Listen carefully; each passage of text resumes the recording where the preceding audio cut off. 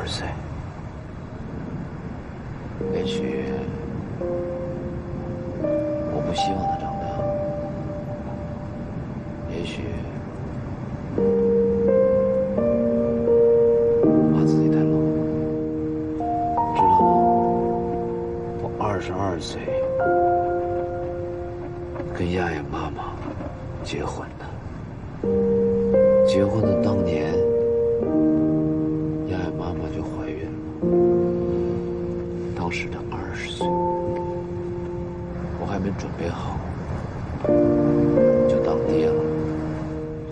担起家庭的责任，就要赚钱养家，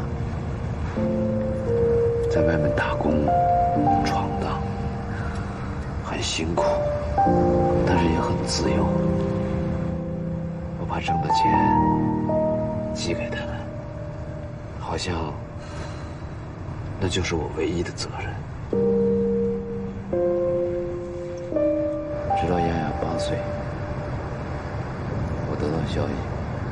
妈妈去世了，因为抑郁症。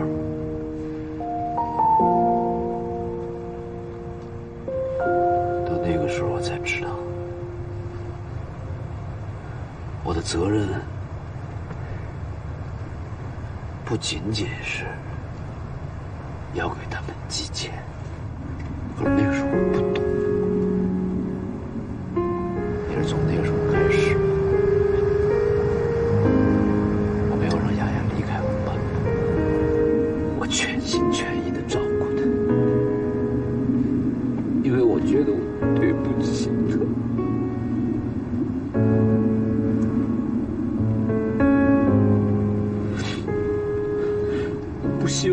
受委屈。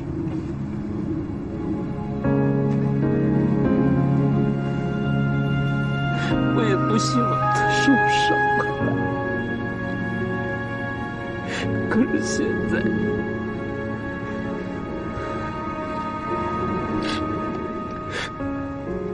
他却却被人抢走了。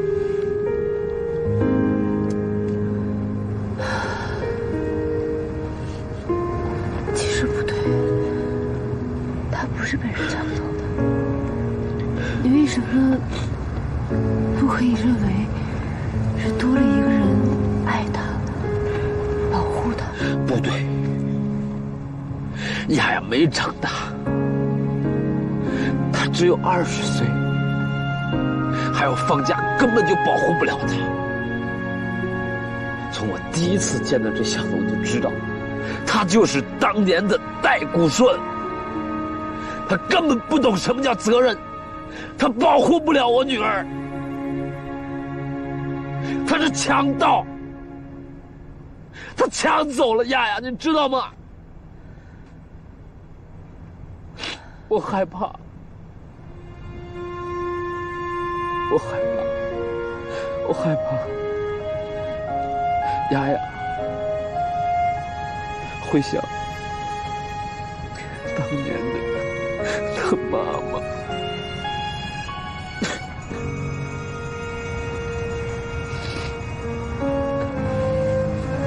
你知道吗？我小的时候，我爸爸带我来海边，我一直认为海是蓝的，是漂亮的。可是那天晚上，当我站在海边，我觉得我眼前黑漆漆的一片，像个黑洞一样。我觉得很恐怖，我想走，可是我爸爸不让，他陪着我坐在海边，一直等到日出。那一刻，我兴奋极了，我觉得好漂亮，好灿烂，那才是我见过最美的海。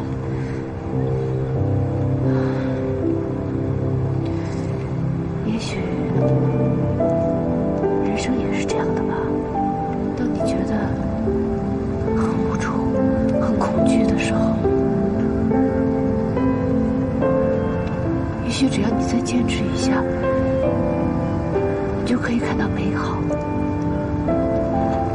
只要你相信。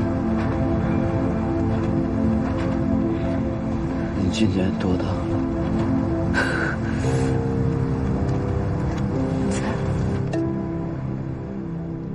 我觉得你像个老太太。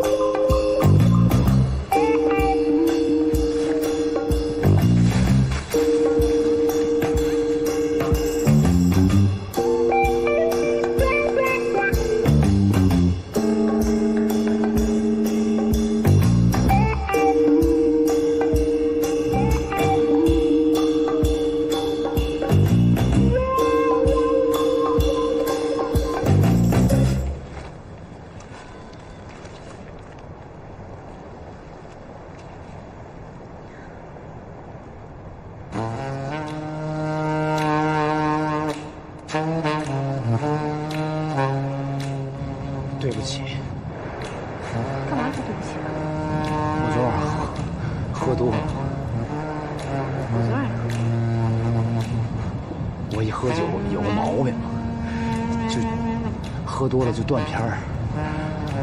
我我昨天晚上我我会不会我会不会那那个我会不会那个会不会吐了？行了行了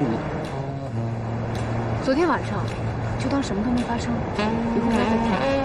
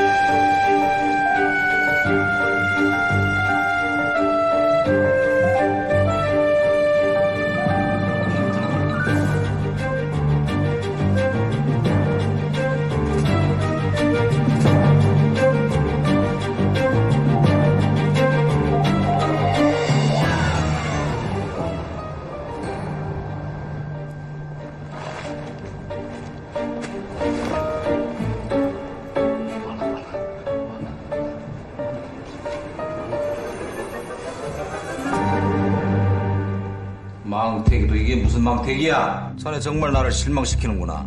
谢总，这次你真的让金董失望了。 이렇게 중요한 전시회에 감히 실종되다니. 这么重要的博览会，你竟然失踪了。 시장 입으로서 你作为一个市场总监，你的首要职责是在现场督阵的。 알았더라면 지금 와서 어쩔 건데 한 건에 합작 이양도 现在可倒好，连一个合作意向也没谈成。我明白，我知道机会对我们来说很重要， 我愿意接受您给我的任何处罚，我可以辞职。 어떤 벌도 달게 받겠답니다. 자네한테 벌칙 같은 거 필요 없고 내가 필요한 것은 金董的意思呢是这样的， 태도란 말이야. 他需要的是一个态度，一个坚定的态度，是一个把接下来的事情做好、弥补损失的一个态度。我明白， 再打一个大米我接受您的批评。如果您还能相信我的话接下来的工作我会全身心的投入。是啊这个是美国新工厂的招标书。他们想在中国找一家合适的公司负责他们即将上映的一个新的动画电影外围产品的设计以及制作。乔内，做不了哈喽哈喽，你带哈勒公司上次的项目非常成功，金董希望你能沿用上次的模式，把这次的订单取下来。这一次呢，不仅仅是一单生意，他看好的是长期合作的利益。我知道了，您放心吧，这次订单我会全力以赴把它拿下来。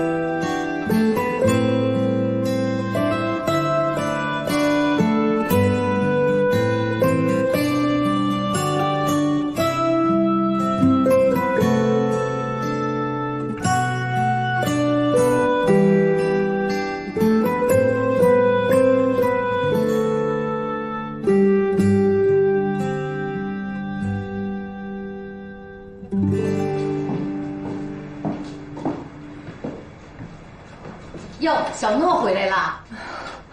伯母啊，您吓我一跳，我还以为你以为是我呢吧？你这一宿了，你上哪儿去了？也不回来。妈，我不是单位同事结婚吗？我喝了点酒，怕晚上回来不安全，就住到度假村了。是跟男朋友一块住吧？呃，不是不是，亲家母啊，您快歇着吧。那个那个那个亲家的腰，你你再给哎。你有事儿你也不给家打个电话，这么多年都养不成这个规矩啊！我给你打电话，你手机关机。今天白天我再打吧，你又不接电话。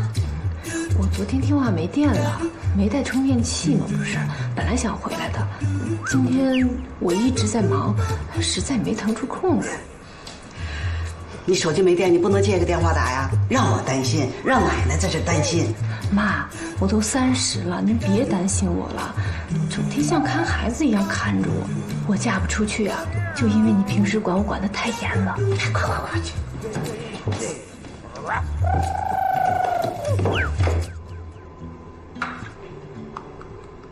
不是你怎么了呀？全喝了吗？到，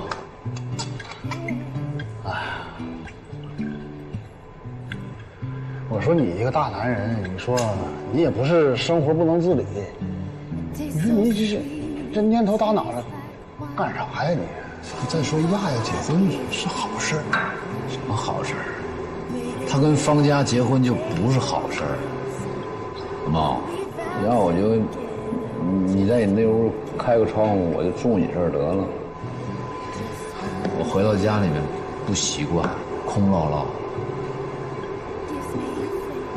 感觉那孩子一结婚，我一下就老了。哎呀，十七，你这种孤独感，我是真能理解。但是你这种做法，我真不敢苟同。我建议你还应该找个伴儿，那个才属于你的你，是吧？才能陪你后半生。不靠谱。这有什么不靠谱的呀？这个，猫，啊，我可能是一个人习惯了，我很害怕婚姻那种稳定的关系。你说一个人对另外一个人喜欢或者是爱，能长存吗？科学统计，荷尔蒙维持高浓度也就两年，最多三四年。婚姻呢？婚姻是一辈子的许诺，你这不是骗别人，就是骗自个儿。那也就是你你这么说，那你也许这这女人她喜喜欢被骗。那我做不出来，那不是耽误人家吗？当然，耽误谁？没谁。我说是耽误谁是泛指。饭吃。我先指指你这儿吧，不是你这儿是怎么回事？什么？就这儿，没事儿，不小心不小心划的。我划的，你拉倒吧你！这一瞅就是挠的，知道不？这这还是女人的指甲印，这一看就是挠的，对呀，而且还能看出来是女人指甲挠的。当然能看出来，这这这这这沟多深呐、这个你怎么看不出来？说什么情况？挺疯狂啊你啊！什么情况？这怎想说就说，不想说拉倒。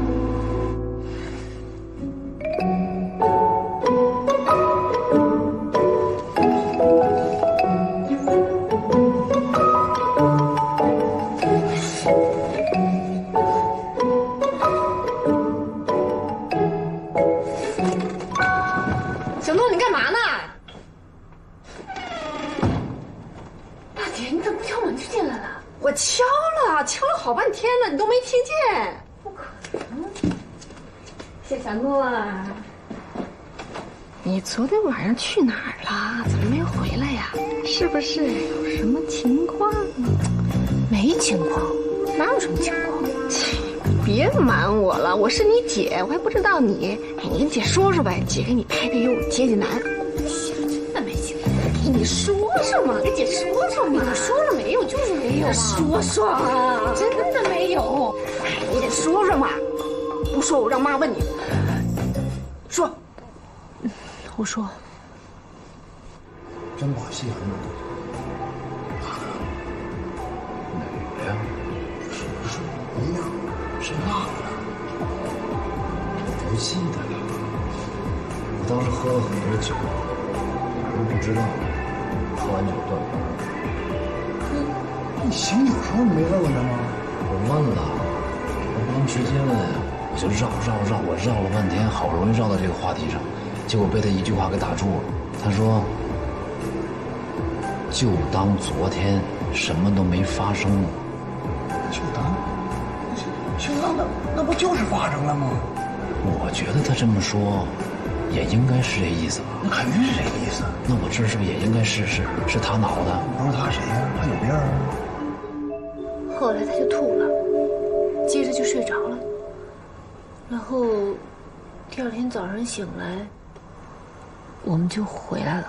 哎呦会吧？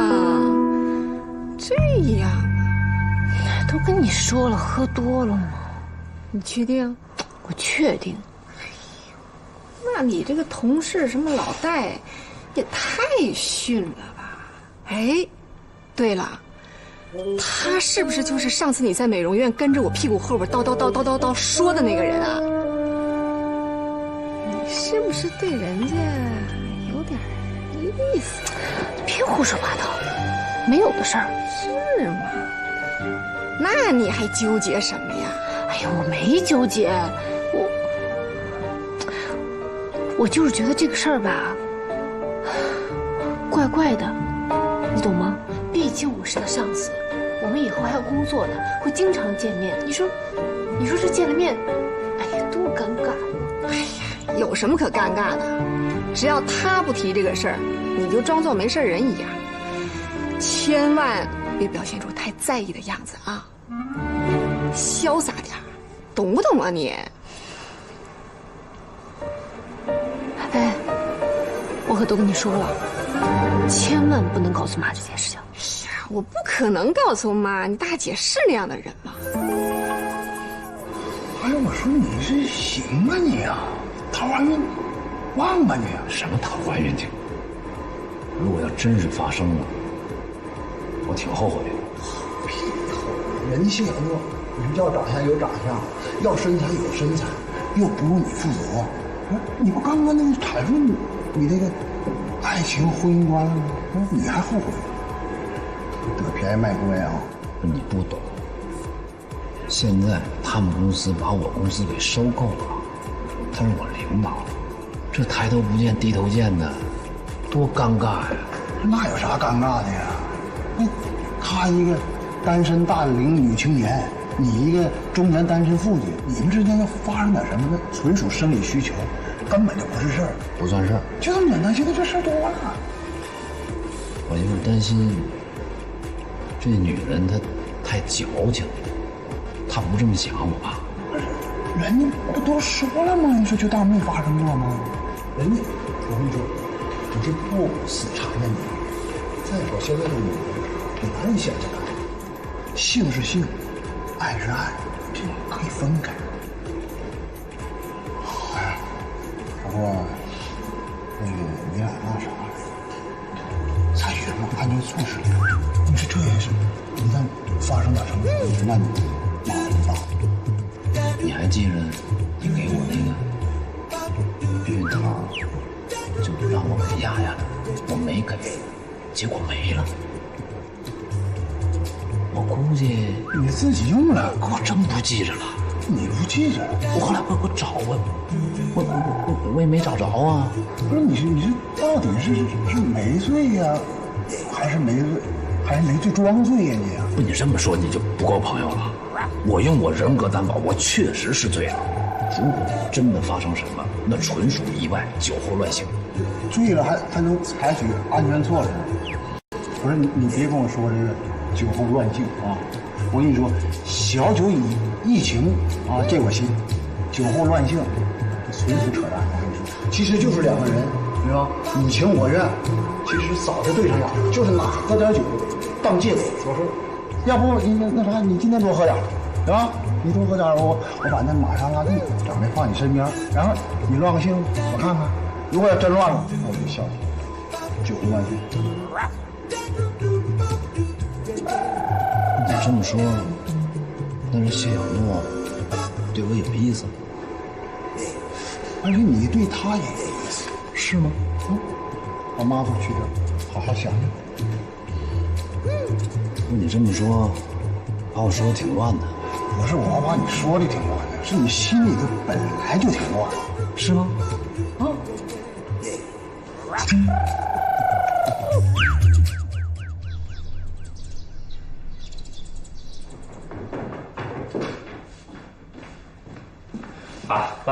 上班去了啊。哎，有幸啊，吃点早点再走啊。啊，不来不及了，学校有食堂，我在那儿吃点就行了啊。他起来了没？啊，呃，他昨晚不舒服，让他多睡会儿。现在这城里的媳妇儿啊，真是好当，也不管丈夫起来，就等着吃现成。那我们要时候这懒呢，早被婆婆拿扫帚打死了。行了，没什么大事，就别挑剔了。小米起了啊？啊。哦，妈，我真来不及了，我得赶紧走了啊。嗯。慢点啊。哎。爸妈早。哎。爸，您吃好了？嗯，吃好了。哎，我去外边吃，外边空气好啊。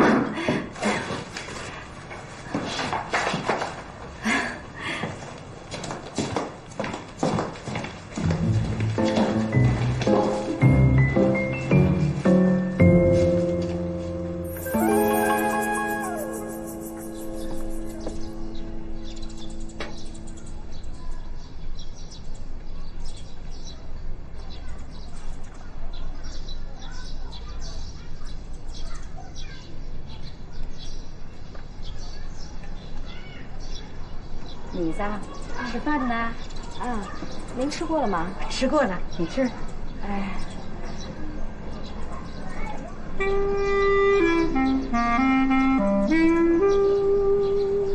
妈，您是不是有什么事儿啊？嗯，不着急，你先吃，先吃啊啊！我吃的差不多了，您说吧。啊，您说。哎，我跟你爸在家呀，天天盼着小孙子出生。这是我在家自己做的，你看看，哎呦，好看不好看？看看，我就是想啊，把这鞋呀早点给小孙子亲自穿上啊，看看好看不？妈，您的心情我能理解。其实我这心里边比您更难受。可谁让我摊上这事儿了呢？您说，人这一辈子。哪都是一帆风顺的呀，我也不是那个意思，我是说呀，你也是老大不小的了。你看国庆他堂哥就比国庆大一岁，哎，人家那孩子都要考中学了，你不是也得抓点紧吗？我们不是不抓紧，可我这身子不是还要调养调养吗？这人生孩子跟鸡下蛋是一个道理。你看那养鸡场的鸡，那天天的一个跟着一个的下。哎，你看那草原那个牧场的鸡，天天的还得吃谷粒子，哎，还得听音乐。你看下出来的蛋呢，那不但少，而且还小。你说，是不是惯坏了呀？妈，您说的那是牲畜，这人跟牲畜能一样吗？这是跟人一个道理呀！你看看你这么些日子没去上班，在家调养身体，这身体呀早就调养好了。哎呦，你这个肚子不是一点动静也没有了吗？不是，啊？志愿你们单位呀对你就不错了，这么些个日子没去上班啊，还给你留着公职，这都是看在我们国庆的份上。哎，那报纸上都说了，这各大高校啊。啊要想方设法的留住人才。妈，我跟光国庆结婚，是因为我们彼此相爱。我是个人，不是给你们汪家生孩子的机器。如果您觉得我生不出孩子，大可以给汪国清找一个能够给他生孩子的女人，但前提是你得听他的意见。如果他也同意，我立马就跟他离婚，绝不耽误你们汪家传宗接代。哎。我说错什么了吗？啊，你怎么说翻脸就翻脸呢？这要是在我们那儿，这当儿媳妇的敢跟婆婆这么翻脸吗？thank you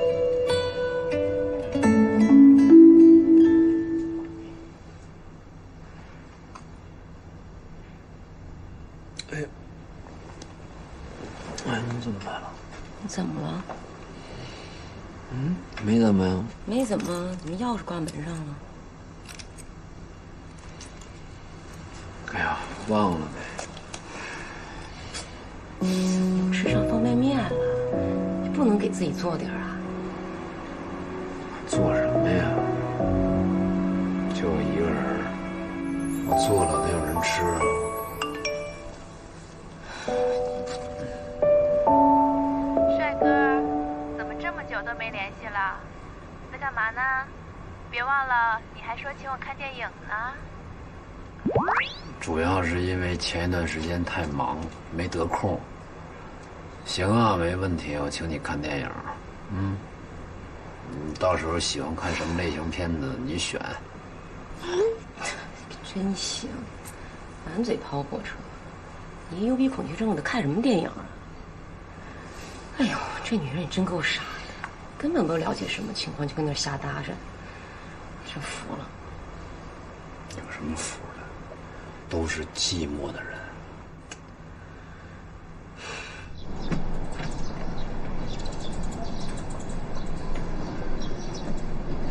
哎呦，这么漂亮的小鞋啊！嘿，哎，是你婆婆给未来的孙子做的吧？怎么了？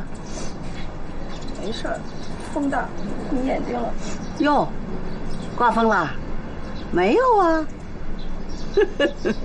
行了，跟谁怄气了吧？妈，您别管我，您忙您的去吧，我想一个人待会儿。你怎么也跟你姐姐学呀？一张嘴就是枪药味儿。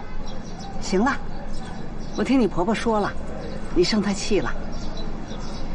她拿我跟母鸡比，我能高兴吗？她还说什么母鸡一天下一个蛋，一天下一个蛋。你说，哎呦，你这个婆婆呀，她不是农村人嘛，就好打个比喻，很生动啊。哎，别小心眼了，真是的。那你公公婆婆想要抱孙子，这种心情是可以理解的呀，对不对？你呢，不能整天就这么给人家甩脸子，一不高兴就甩脸子，那咱们这是成什么家风了？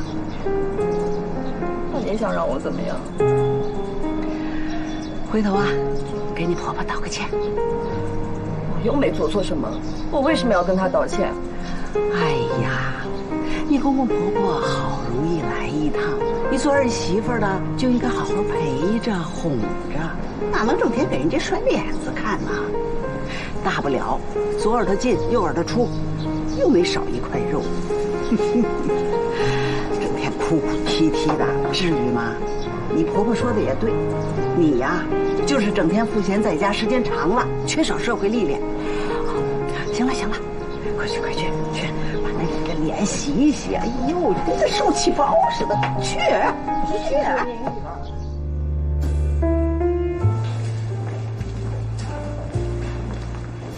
又来了。谢总，坐吧。哎，喝点什么？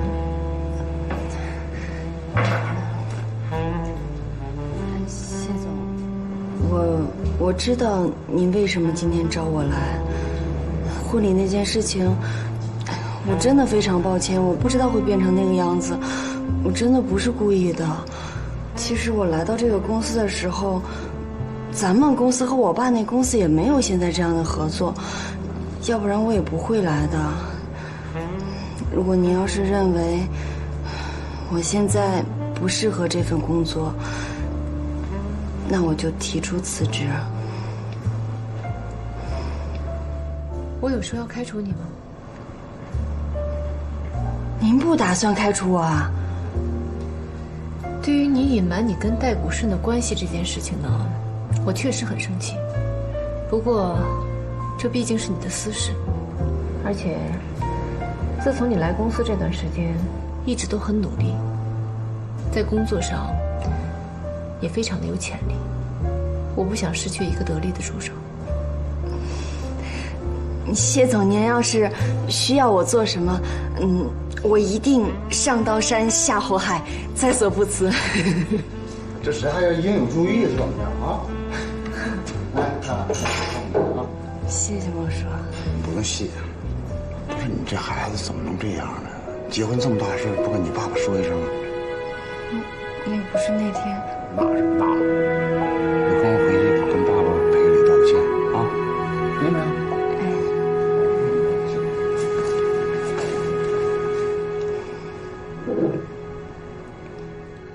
我今天找你来，是有另外一件事情想跟你说。您说，我听说你从小对电影、动画还有游戏都非常的了解，对吗？嗯，还可以吧。那你对于他们的衍生产品了解多少？这个我知道的倒是挺多的，可能就是不够系统。那如果我给你时间，让你系统的分析一下这些衍生玩具在国内市场的情况，需要多长时间？三天，嗯，最多四天，我想就能够完成。好，那你现在就着手去做这件事情。谢总您放心，您交给我的任务，我一定按时完成。好，那你尽快做好。嗯，那谢总我先走了，谢谢你啊。哎，呃，我听说戴设计师这两天因为你的事儿心情不太好，我想你是不是可以考虑搬回家居住？他毕竟是你爸爸，你总不能躲一辈子吧？我会考虑的，谢总。那我先走了。这都是我们一大家子人。哎，你看，你看这全家福，看我孙子真好吧？啊，你看你们家国庆多精神呐！啊，亲家母，来来来来来，来吃点水果。好，妈妈不爱吃水果。哎哎哎，吃点水果啊！来，心呀，哎，照顾好啊！哎，哎，您亲家，亲家，哎哎哎，好，小子，您慢点啊，行，啊，哎哎。哎，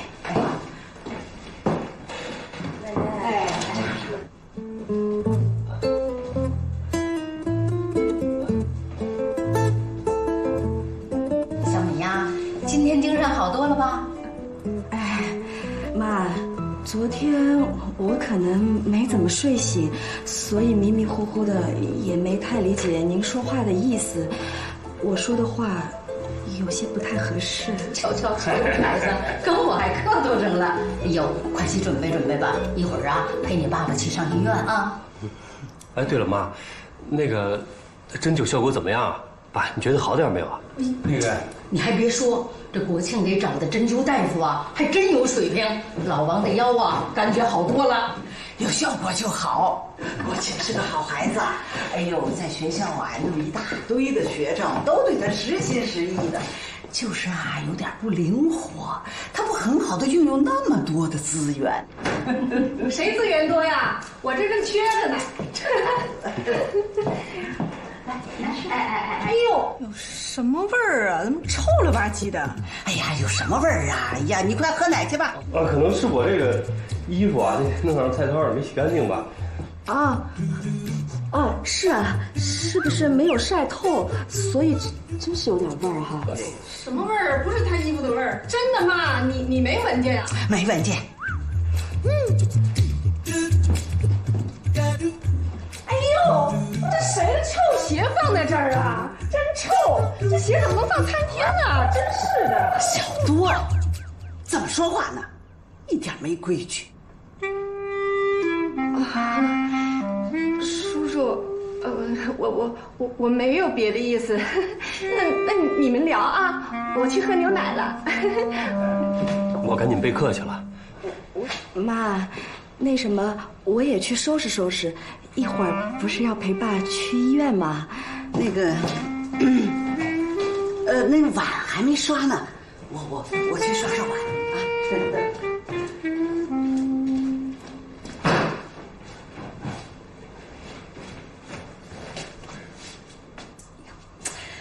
这味儿是大了点儿，来的时候不是给你换了一双吗？那我换过了，可腰这样，脚都洗不成，这臭才能怪我们这。他们家大闺女也是的啊，谁们家还没个臭脚巴丫子啥的啊？至于的吗？一惊一乍的。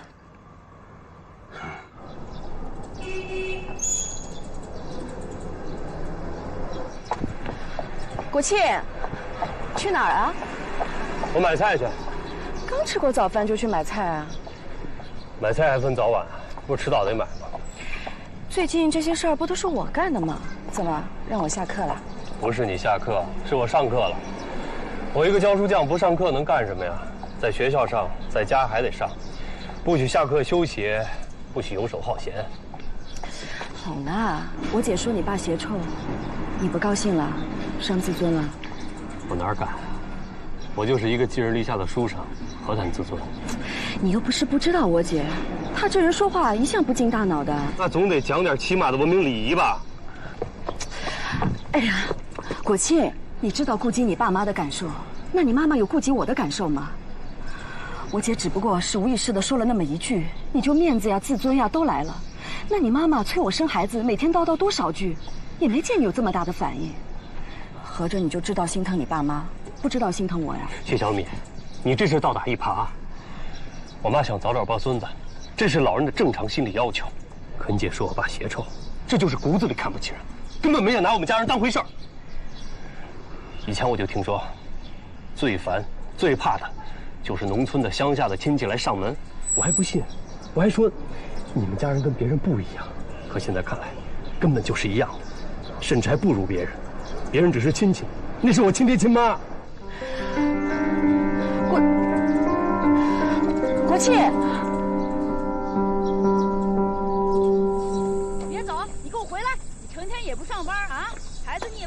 就知道抽烟打牌喝酒，这都不要钱啊啊！你什么也不干，就知道玩牌，让我一天什么也不上班，你就别回来，死到外头得了，你就大姐，甭给大姐来。请请问这是幺零二吗？对呀。哦，那是不是有一个叫戴亚的女孩住这儿？在里头了。